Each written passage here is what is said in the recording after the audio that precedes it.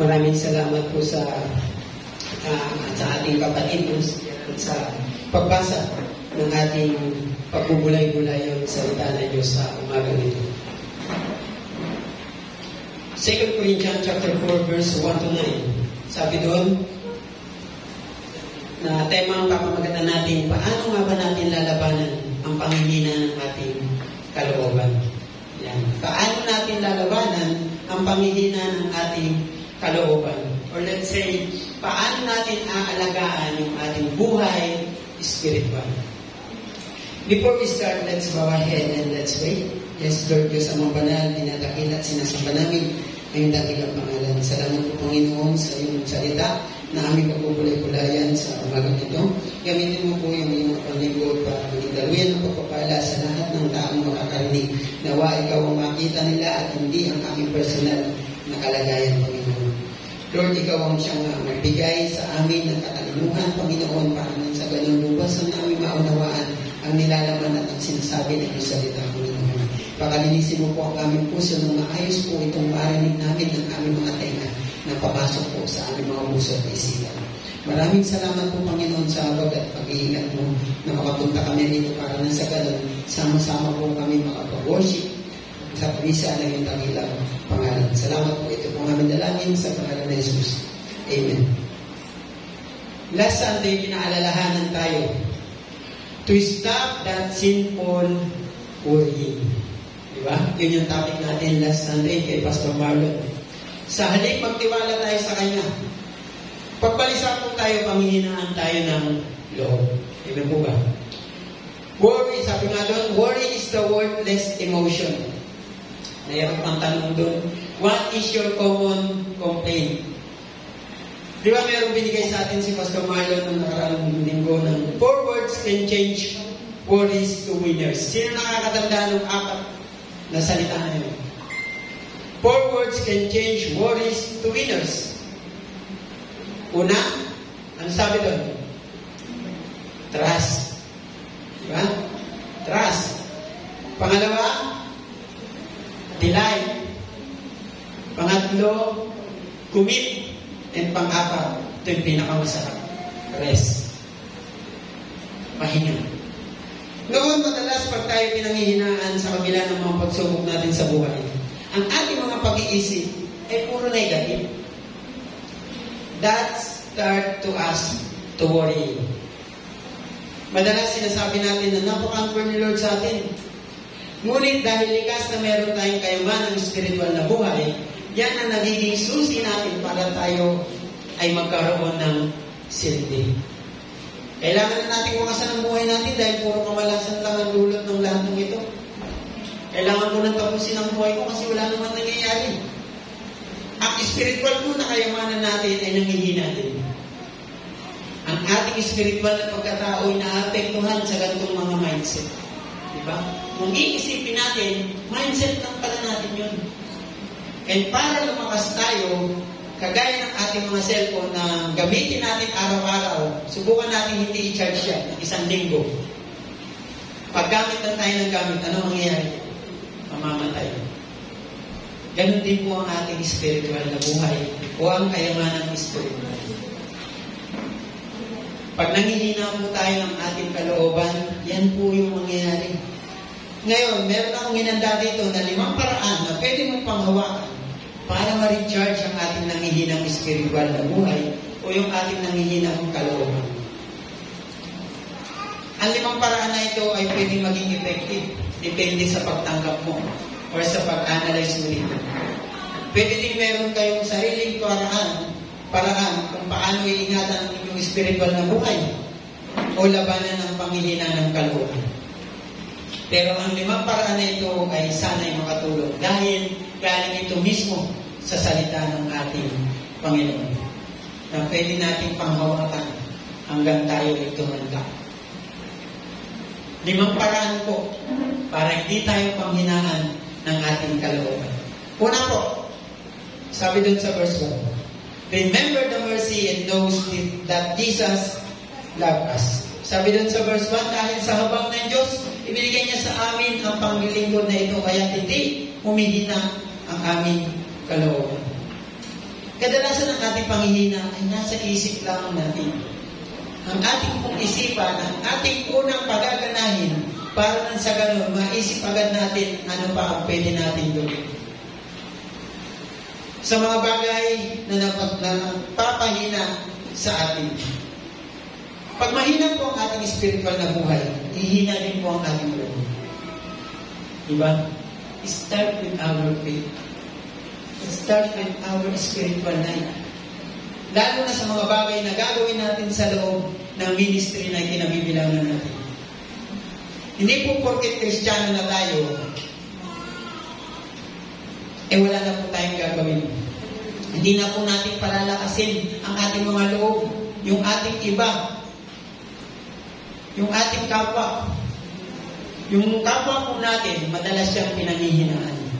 Kaya kailangan po, matibay din tayo para maging matibay din sila. Dapat natin inaalala lagi yung habag ni Lord para sa atin. Bakit? Di ba sabi dun sa verse 1? Dahil sa habag ng Diyos, di ba sinabi dun, hindi umihina ang aming loob. Ang Diyos na nagbibigay sa atin ng lakas ng loob. Lagi pong may habag ang Diyos para sa atin lahat. Amen po ba? Ito ang pwede natin unang-unang isipin para hindi po tayo lubusang panghinaan ng loob. Bakit may habag ang ating Diyos? Dahil mahal na tayo. Pagmamahal na ibinigay niya ng libre sa pamamagitan ng pagpapakapako niya sa krus, nakita natin kung gaano tayo kamahal ng Diyos. Nakadalasan, minsan nakakalimutan natin yung ginawa niyang sakripisyo. Ang habag at pagmamahal ng Diyos, kahit hindi natin deserve, binibigay niya sa atin. Kaya nga love ang una niyang itinuro sa atin. Eh. Ang purpose po natin sa buhay ay hayaan po natin mahalin tayo ng Diyos. Tanggapin mo na mahal tayo ng Diyos. Bakit? Bakit kailangan natin tanggapin na mahal tayo ng Diyos? Dahil ito, tandaan niyo po ito, you cannot give what you don't have. Paano ka nga naman magbibigay ng pagmamahal kung wala ka nito? Hindi mo kayang mahalin ng Diyos at kapwa mo tao kung hindi mo muna tinatanggap ang habag at pagmamahal ng Diyos para sa iyo.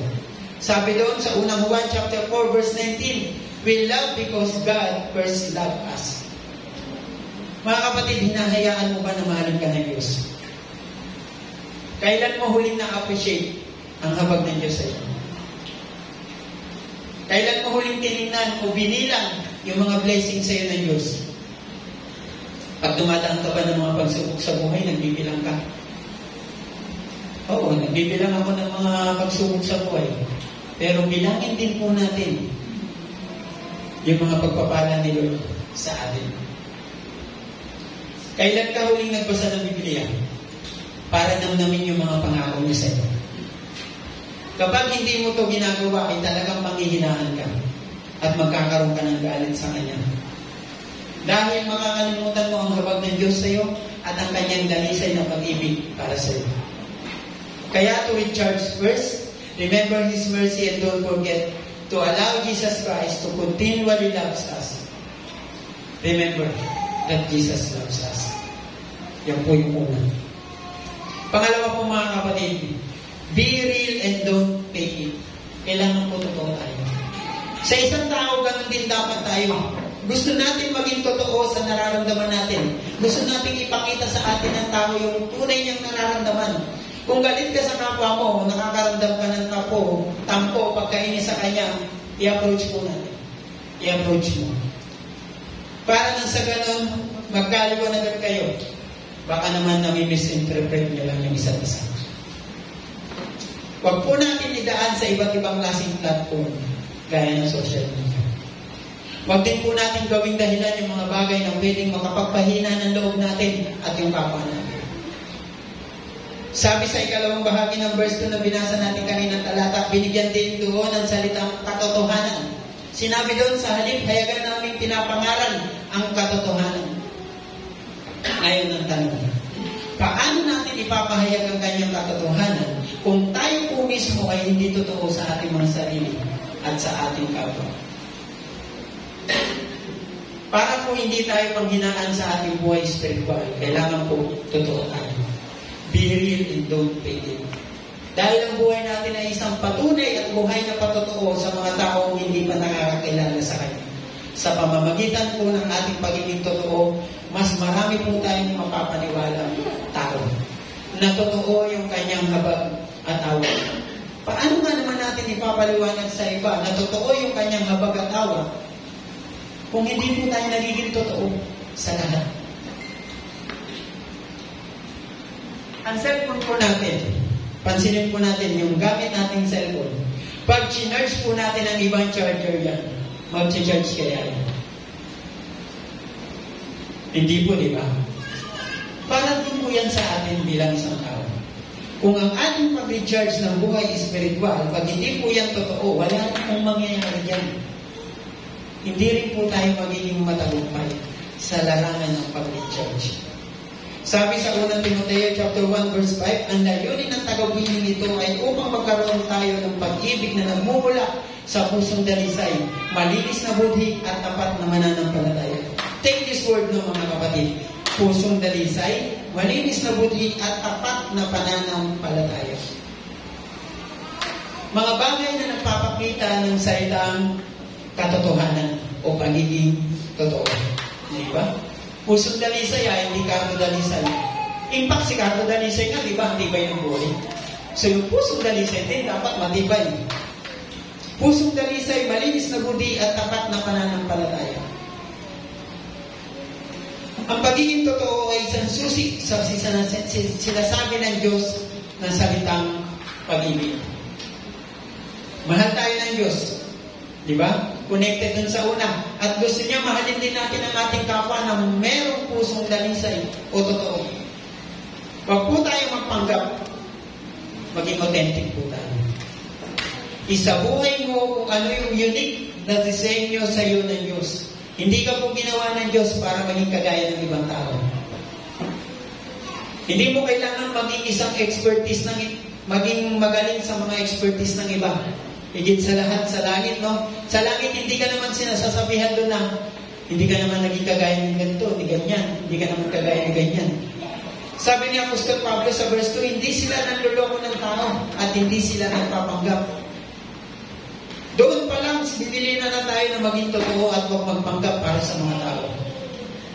Ibig sabihin, para maging buhay na patotoo at the same time, sa pagiging totoo natin, marirecharge po tayo sa ating buhay spiritual. Hindi po natin kailangan maging perfect para pumahalin tayo ng tao at ng Diyos. Kaya pag tayo po ay nagpe-fellowship or nag-small, nag-small group, nag-share ng sa ating kapwa mananampalataya, Tandaan niyo po. Huwag po puro tagumpay yung i-share natin. Huwag naman puro galing-galing ni Lord sa buhay ko kasi pinagpala niya akong ganun. Huwag naman po puro ganun. Ibahagi din po natin kung paano tayo nag-fail. Kung paano yung naging, paano kumilos yung failure sa buhay natin. Dahil sa failure po na yan, makikita natin o sa lahat, makikita, may papakita natin sa lahat na binabago po tayo ng Diyos sa araw-araw. Hindi pa po tapos ang Diyos para sa paghulma ng ating mga ugali. Kaya ang gusto niya lang, maging totoo tayo. Pag nasasaktan tayo, magsabi tayo.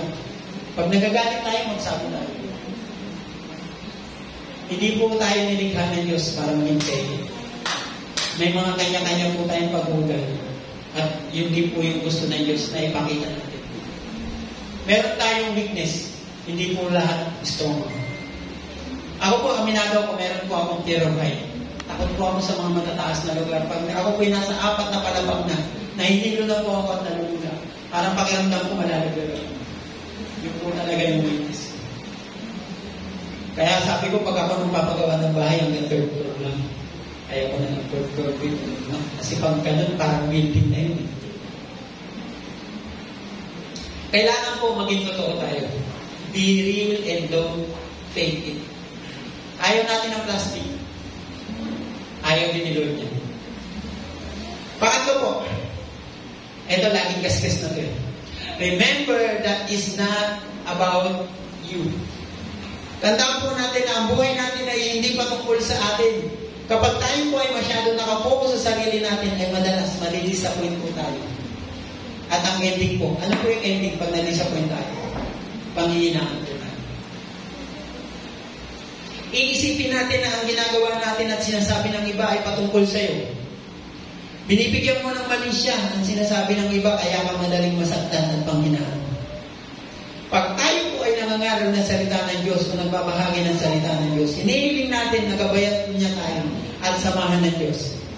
Dahil po ang Diyos na naguutos na magkaroon ng liwanag sa kadiliman ay siya rin Diyos na nagbibigay ng liwanag sa ating isip upang makilala natin ang kaluwalhatian ng Diyos.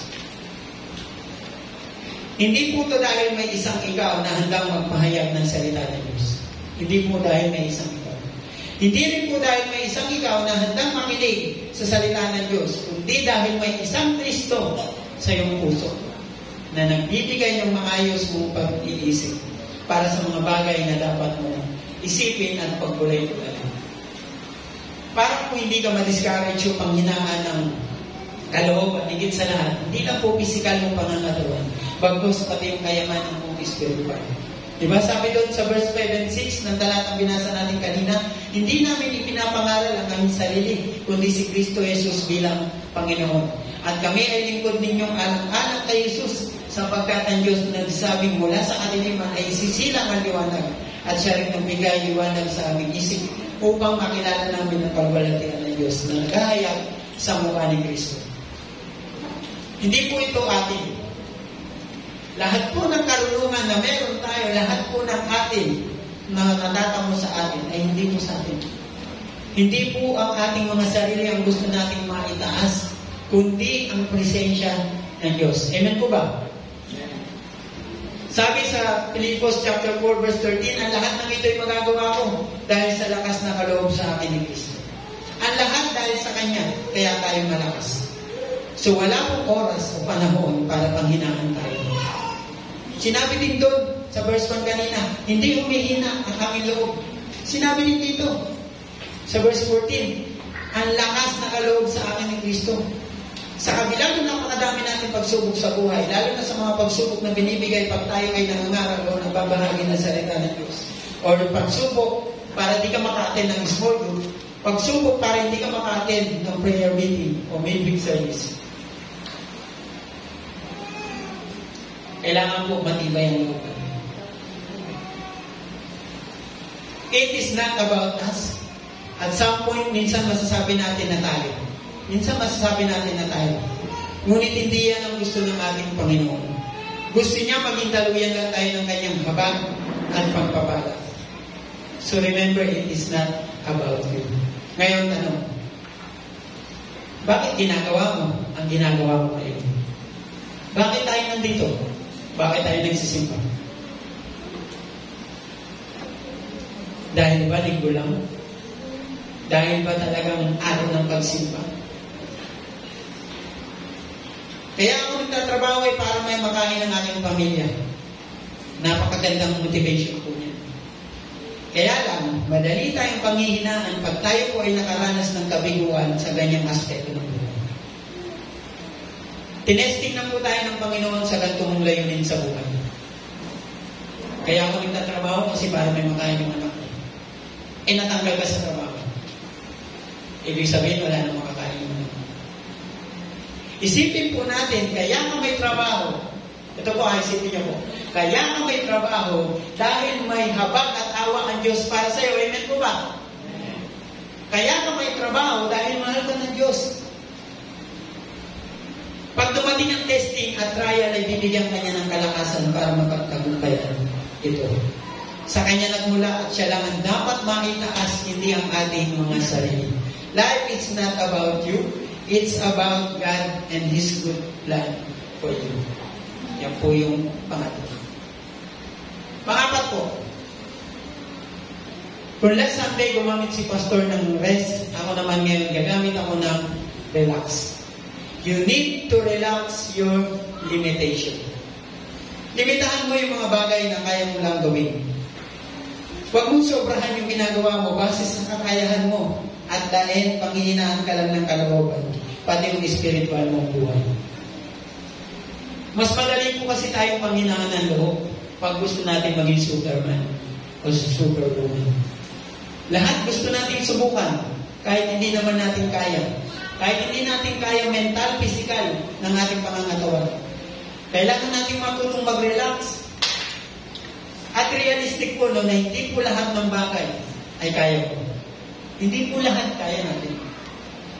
Dapat yung alam mo lang na kaya mong gawin, yung gagawin mo. Huwag mong isipin na kaya mong isolve lahat ng problema ng ibang tao.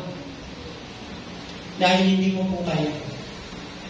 Madi-discourage ka lang at panghihinaan ka lang ng Lord. Huwag kang mag-umpisa ng napakaraming proyekto at sa bandang huli, hindi mo naman tatapusin. Sa bandang huli, ang magiging resulta nito ay panghihinaan ka lang ng Lord. Sabi ni Rick Warren, it is easier to fill your schedule than it is to fulfill to fulfill your schedule. Mas madali kong mangako ng mangako at madalas babago. Dahil hindi tayo nakarelax sa ating limitasyon. Dahil sa pride, ayaw nating masabihan na mahina. Mahina ang nilalangkan mo pala, di mo naman. Kaya kahit hindi na natin kaya, di ba? Kahit hindi na natin kaya, go pa rin tayo ng go. Huwag ka muna mag-day ngayon, dire-diretso ka muna magtrabaho. Eh, hindi na nga kaya ng katawan mo, go pa rin tayo ng go. Ano po yung hinahabol niyo doon? Sa approval mo ng tao. Sa approval mo ng tao, ang ending po, discouragement. Sabi doon sa verse 7 ng talatang binasa natin kanina, ngunit kaming pinagkakalooban ng kayamanan spiritual na ito ay hamak na sisidlan lamang tulad ng mga palay. Upang ipakilala ang dakilang kapangyarihan ito ay sa Diyos at hindi sa atin. Alam ni Pablo na siya ay isang palayo. Ano po yung, yung, ano po yung katangian ng isang palayo? Siya. Ano yung katangian ng isang palayo? Marupok, babasagin, at may limitasyon. Kung meron man siyang mga na-accomplish ay hindi ito galing sa kanya, sa kanyang sariling kakayahan, kundi sa tulong ng banal na Espiritu. Kailangan mo pong malaman ang limitasyon mo. Ikaw po ay isang par tayo po ay isang palayong lamang na babasagin at marupok. Sabi ko, hindi lang pala babae yung marupok. Lahat pala tayo. Lahat pala tayo babasagin at marupok. Hindi lahat kaya mong i-learn o kaya mong i-gather. Learn to say no. Diba? Learn to say no. At kung hindi kikilos ang Diyos sa iyo, ay wala ka rin magagawa na may kabuluhan. Kailangan po nating magpagum, magpakumbaba at tanggapin ang ating kahinaan. Ang pagpapakumbaba po ay hindi pagtanggi sa iyong kalakasan. Ang galing mo naman kumanta, ay hindi naman, slave lang. Hindi po dapat ganun ang pagpapakumbaba. Ang pagpapakumbaba mo ay pag-amin ng iyong kainaan. At the same time, pagkilala din ng iyong kalakasan. Sabi din na Rick Warren, humility is not thinking less of yourself. It just thinking of yourself less. Kung iniisip mo kung paano ka ng ibang tao sa pananamit at pananalita mo, ang tawag dito ay pride. Diba maganda ba to sa tingin ng tao? Maayos ba ako magsalita sa tingin ng tao? Ang tawag po dyan, pride. Lagi mong iniisip ang sarili mo. Pero sa paglabas mo ng bahay ay iniisip mo na kung sino ang matutulungan mo o kung sino ang ma-encourage mo. Ma-appreciate mo po yung ginagawa ng Diyos para sa iyo. Yan po yung ma-appreciate mo sa araw na yan. Ang tawag po dyan, humility. Bakit? Dahil you're thinking of yourself less. Mga kapatid, pang-apat ay panghuli. Use our faith to help others. Verse 8 and 9, naalala mo ba yung hirap at sakit na dinanas ni Apostol Pablo sa kanyang pangalan? Sabi niya, ginagamit niya ang lahat ng kapighatian na yon para sa ibang tao. Sa talata kanina sinabi doon, sa verse 8 and 9, Kabiga-bilangan ng pagpapahirap sa amin, ngunit di kami nalulupig. Kung minsan nababagabag kami, ngunit di nawawala ng pag-asa. Inuusig kami, ngunit hindi kami pinababayaan ng Panginoon. Napapabaksa kami, ngunit di tuluyang nababagay. Gabi, no? Bakit gano'n na lang kaya katatapos si Pablo? Kung tatanungin po natin si Pablo kung ano yung nagpapatatag sa kanya sa kabila ng paulit-ulit niyang pagkakabilanggo, pagkakabugbog at marami pang paghihirap. Isa lang po ang isasagot niya sa atin. Ano po kaya? Yung verse 15. Tingnan niyo po sa Biblia niyo mga kapatid. Sa uh, Korinto chapter 4 verse 15. Ang lahat ng pagtitiis ko ay para sa kapakanan ninyo upang sa pagdami ng mga nakakatanggap ng mga kaloob ng Diyos, lalo pang dumami ang magpapasalamat at magpupuri sa Kanya. Kaya niyang tiisin ang lahat. Dahil ano? Dahil meron siyang layunin o purpose. Ito ay para sa kaibabumuti ng iba. Dahil makikilala nila ang Panginoong Yesus, tayo ay magkakaroon ng kaligtasan at sila ay magpupuri sa Diyos. Sabi sa pag-aaral, kaya daw tiisin ng tao ang lahat ng paghihirap kung meron itong purpose. Kapag hindi mo po mauunawaan ang purpose mo sa paghihirap, ay hindi mo ito kaya tiisin. Pansinin niyo po yung ano, yung buntis. Yun yung buntis dito mga Si Ate Ann, si Ate Jen, Pansinin niyo po yung mga buntis o yung mga may asawa sa ibang part na buntis nila. Kaya po nilang tiisin yung sakit habang sila ay nagdadalang tao pa. Kaya nilang tiisin yung hirap pag mga anak na. And ito pa pinakamasakit. Kaya nilang tiisin yung financial na gastos sa ospital pag mga anak na. Bakit? Bakit kaya? Dahil malinaw sa kanila yung purpose kung bakit sila manganganak. Ang purpose o ang layunin nila ng Diyos para sa kanila. Para magkaroon sila ng isang malusog na bata. Isang mabait na bata. Mabait daw na bata. Diba? Makikita na nila yung matagal na nilang hinihiling kay Lord. Yun yung purpose ng kanilang pagtitiis.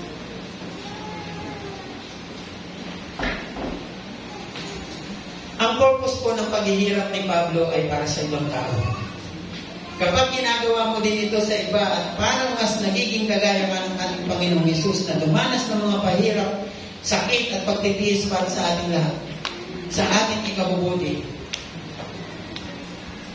Hinahayaan po ng Diyos na dumanas tayo ng suffering. Yes, hinahayaan po niya. Para mapalakas ka nito, ngunit may isa pa po itong purpose. Kaya nga dumaranas ng iba't ibang klaseng suffering, layunin po ng Diyos na magamit yung pinagdadaanan mo para sa kabubuti ng iba. Kaya huwag mong sayangin ang paghihirap na ito. Mga kapatid, pinanghihinaan ka man sa mga oras nito, mapalad ka you are blessed. Dahil plano yan ng Diyos para sa iyo. Hindi lang plano ng Diyos para sa iyo.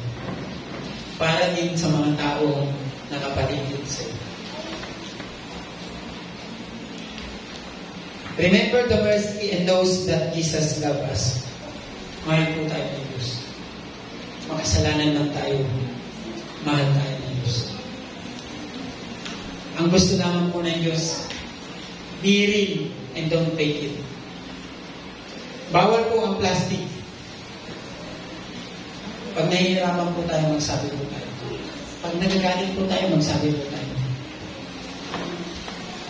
Alalahanin po natin, remember, that is not about you. Sino nga ba ang kasama mo? Kasama po natin ang ating Panginoong Yesus. Ang kailangan po lang, ang kailangan lang po natin, relax our limitation. We need to relax our limitation. Tandaan po natin na hindi lahat kaya natin. Use our pain to help others. Your pain is not allowed to set you down, but to boost you to help others. Lahat po ng sakit na pinagdadaanan mo at hirap na pinagdadaanan mo ngayon, hindi po yan binigay ng Diyos para panghinaan ka ng loob. Ginagamit po yan ni Lord para sa iyo, sa sarili mo, at sa ibang tao. Yung mga yan ay ilan lamang sa mga hambang para labanan ang panghihina ng ating kalooban.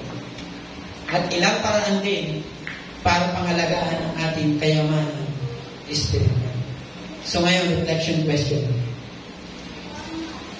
Ano sa tingin mo ang layunin ng puso mo sa pinagdadaanan mo ngayon? Saliksikin po natin ang ating mga sarili. Bakit po ako nahihirapan ngayon? Ano ba talaga yung layunin ko? O layunin ng puso mo sa pinagdadaanan ko? Yung layunin ko ba ngayon is layunin ba ni Lord para sa akin? And tanungin po natin yung ating mga sarili. Tama kaya yung layunin ko? Tama po kaya yung purpose ko? Para alam natin kung paano natin malalagpasan ito. Mga kapatid, kung meron mang karapatang magreklamo dito sa lahat ng hirap at pasakit natin, unang-una po ang Diyos. Panginoong Yesus. Dahil sa pagpapakapako niya sa krus. Sa dami ng hirap niya sa buhay, siya lang po yung may karapatang magreklamo. Meron mang isa, kung meron mang isa, tanungin niyo po si Apostol Pablo kung bakit hindi siya nagre-reklamo. Kung gusto niyo pong malaman yung hirap na dinaan, dinanas ni Apostol Pablo, basahin niyo po yung 2 Corinthians chapter 11, verse 24 to 30. Diyan niyo po makikita kung anong hirap yung pinagdaanan ni Apostol Pablo. Sila lang po yung may karapatang magreklamo. Hindi po tayo. Wala po tayong karapatang magreklamo sa lahat ng hirap na pinagdadaanan. Lahat po ng paghihirap natin, wala pa po yan sa kalingkingan ng paghihirap nila. Sabi, sabi nga namin ni na Pastor, no, pag nahihirapan na tayo sa ministry, tanungin natin si Lord, nahirapan ba siya sa cross ng Kalbaryo? Pag napapagod na tayo sa ministry na kinabibilangan natin, tanungin muna natin si Lord, napagod na ba siya? Nakakapagod umatin ng prayer meeting. Nakakapagod umatin, umatin ng small group. Tanungin natin si Lord, Lord, napagod ka na bang pagpalain kami? May kinakain tayo sa araw-araw. Meron tayong panibagong araw pagising natin sa umaga. Kasama natin ang ating mga mahal sa buhay. Hindi siya napagod, di ba? So wala po tayong karapatan mapagod at wala po tayong karapatan magreklamo. Wala po tayong karapatan panghinaan ng loob. Ang pinaka-main point lang dyan, kailangan lang po tama yung layunin natin sa buhay. Kaya muli po mga kapatid, tanungin po natin yung sarili natin. Tama kaya yung layunin ko sa buhay? Tama kaya yung gusto kong mangyari sa buhay? And tanungin, and sabihin natin, ipag-pray natin kay Lord. Lord, sana kung ano yung layunin ko, layunin mo din para sa akin. Yun lamang po ay maraming salamat po sa ating lahat. God bless you. Everyone.